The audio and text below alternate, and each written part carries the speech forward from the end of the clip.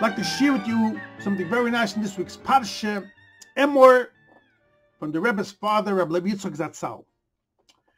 This week's Parsha speaks, the latter part, all about the Korbanos, all the Yom Tovim.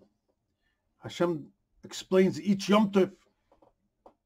When it comes to Shavuos, we count, we go out Mitzrayim, we count 49 days, for Soimer, and then on Yom Tov of Shavuos, the 50th day, is a unique korban.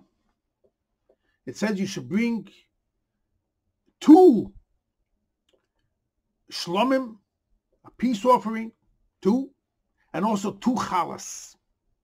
We don't have that by any other Yom Tov, only on Shavuos. What's the reason of this? Shlomim and also why two breads? Explains of Levi Yitzchak, the Gemara says in Avodah Zorah, Dav Tesamar Aleph, that we know there'll be 6,000 years till Mashiach comes. That's the maximum. The Gemara explains that the first 2,000 years was toyu, it was chaos. From when the world was created till Avram Avinu was born, it was 2,000 years. From when Avram Avinu was born, the Jewish nation started, which led up to the giving of the Torah. The Torah is what's called Olam Atikun. That will correct and fix all the chaos and all the toyu, the brokenness of the world that happened in the first 2,000 years. It will correct and elevate the world. And that's the reason of two shlomim and two breads. The two symbolizes that the Torah is going to come and bring and elevate and fix the world from the destruction and this chaos that happened in the first 2,000 years. With this, Rabbi Yitzchak explains something very an interesting remes. We spoke many times in the end of Pashas Vayishlach, in Perik Lamed Vov, at the end from Pasuk Lamed Aleph and on, it describes seven kings of Edom, which were the descendants of Esau, which is they're the kings of Olam Atoyu. And that's why it says doesn't say by anyone they had wives. It says they died. So these are the seven kings symbolizing Olam Atoyu.